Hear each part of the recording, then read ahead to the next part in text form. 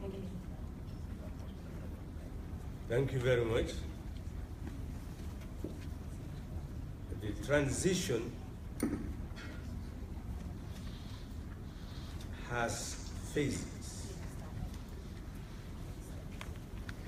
And the phase that most people want completed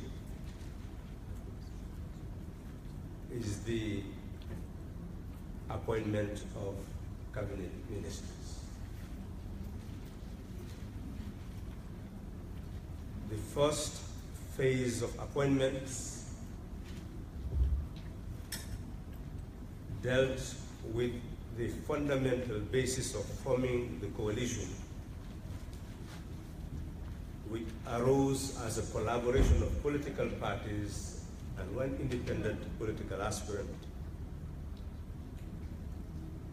consequently requiring the president to consider the nominations from those parties and stakeholders. The second phase deals with these ministries.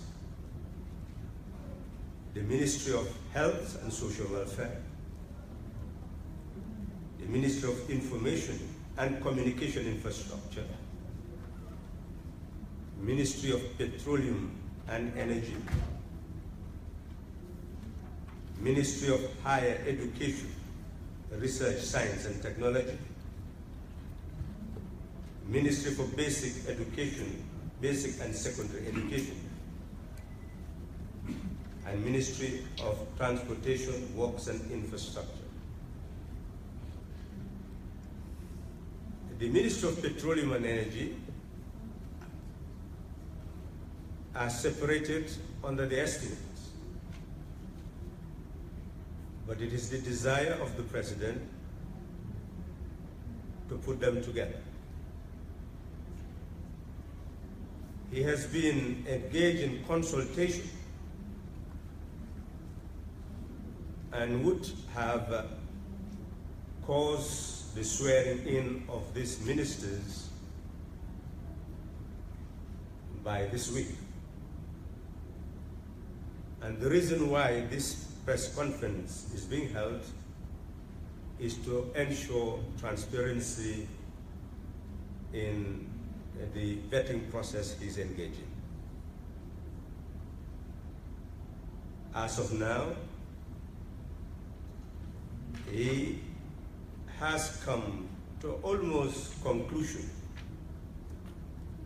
regarding the person to be appointed for the Ministry of Information and Communication uh, Infrastructure,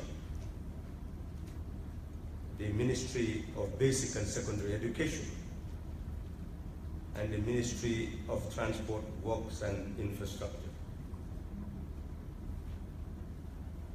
He is still working on the other ministries. The reason being very simple.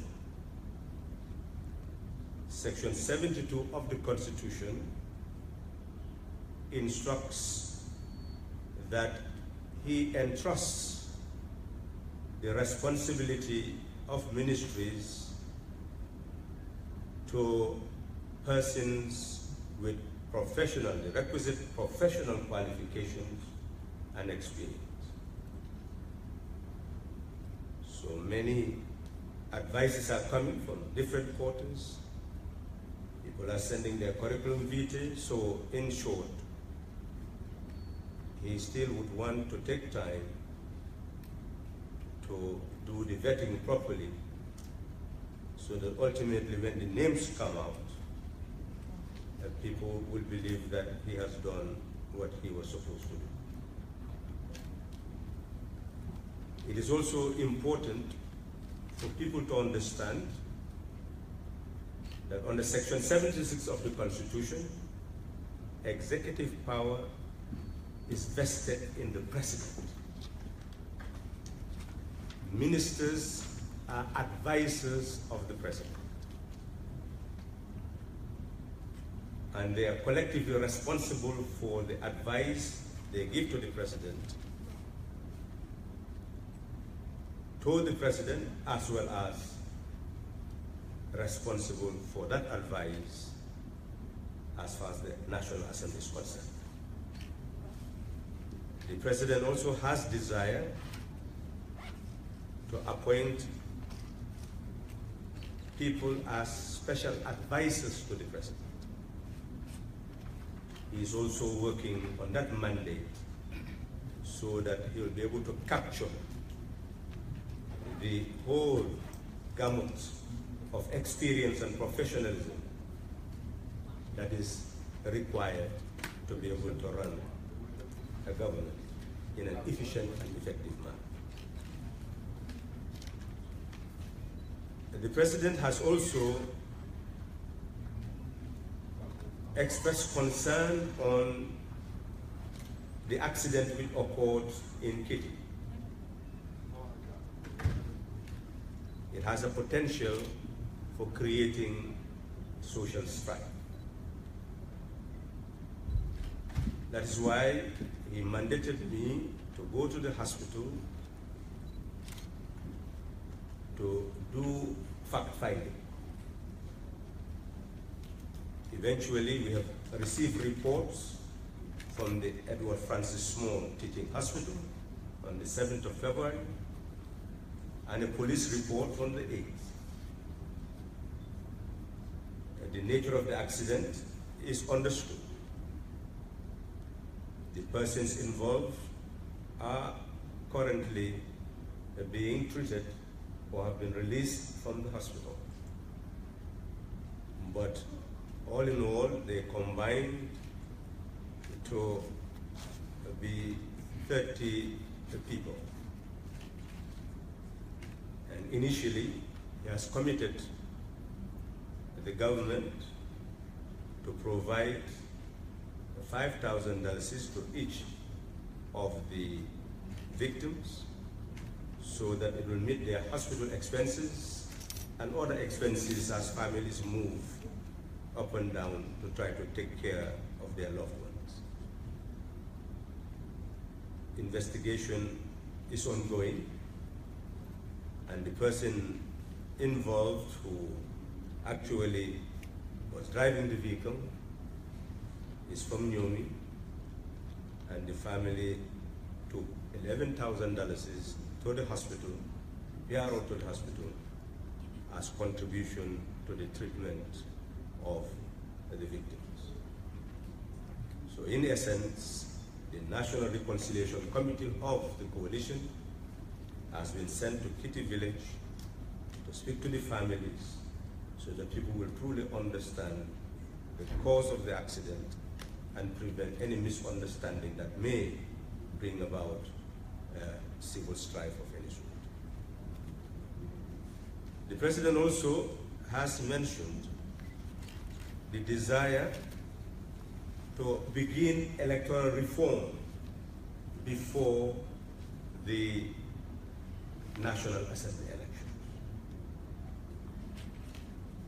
He has instructed for consultation to begin with the political parties, the inter-party committee, with his Attorney General and Minister of Justice, so that of 20th July 2015, which under Section 43 increased the deficit for presidential aspirants from 10,000 to 500,000, National Assembly aspirants from 5,000 to 50,000, aspirants for council elections from the, uh, in terms of mayors, from 2,500 to 50,000, and for councillors from 1,200 to 10,000. Such uh, a draconian provision uh, would ultimately be subjected to a review by all stakeholders and a bill prepared, submitted to the National Assembly for enactment. So in short, the government is now working very hard to put the institutions to work so that the vacuum that has been created by the impasse will be overcome.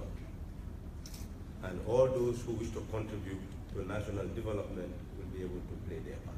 Thank you.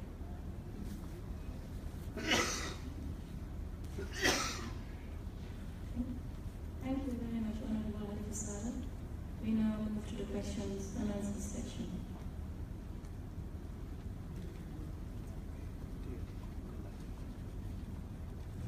A